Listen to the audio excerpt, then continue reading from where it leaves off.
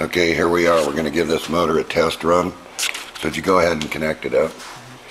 And we're going to run it at uh, where it wants to run. Between 24 and 36 right at the moment.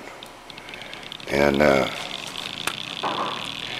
we're going to feed back the energy to the battery so we get a, a little bit more run time in a second.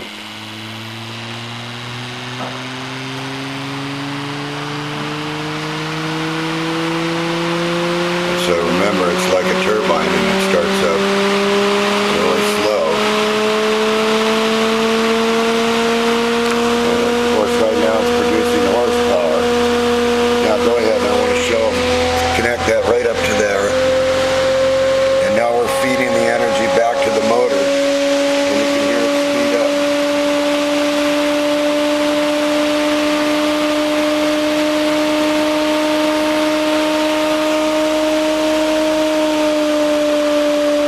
You'd be running it in its load range, which is about three quarters down. We're very close to uh, 10,000 RPMs right now at 40 pounds mass weight.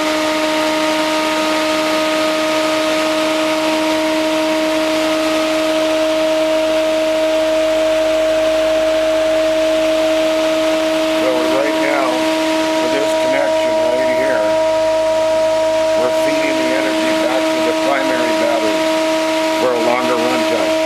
Control box is right here.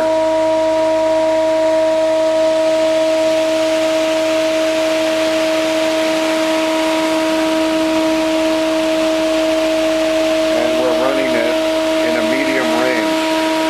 We're not running it full on like you could do at Air Mag. You could run this full on by changing these magnets back here, but not the arrangement of the hulls.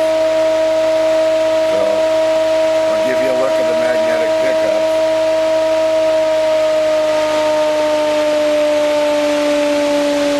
What do you do back here?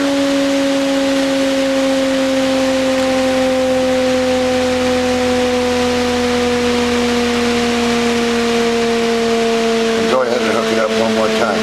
The magnetic picks- pickups are right back here. So you can change the torque of this motor by, uh, by changing these magnets back here. But that depends on you not me.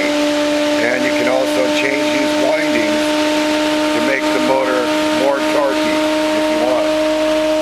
But it's moving along pretty good here under load. Can't hold on to it long. That's an idea of where this counter rotating magnetic field motor is. You can disconnect it now.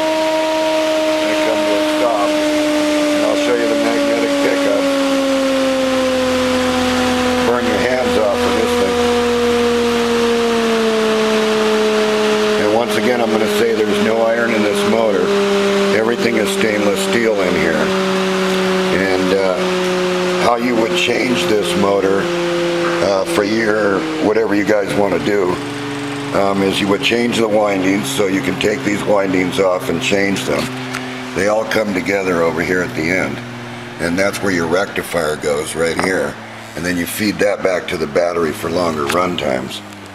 And uh, I want you to see these magnetic pickups. And then I'll just let it go one more time.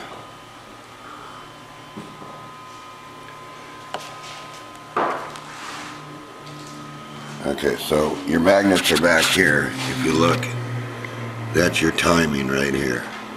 So I've chosen a magnet that's very small for this motor, so I'm not looking for much torque right now. But you might want a bigger magnet there. So go ahead and let it let it start. And you can see that it it's it's accelerating a 40 pound, about a 35 to 40 pound wheel here with the magnets. And then it's going to go into resonance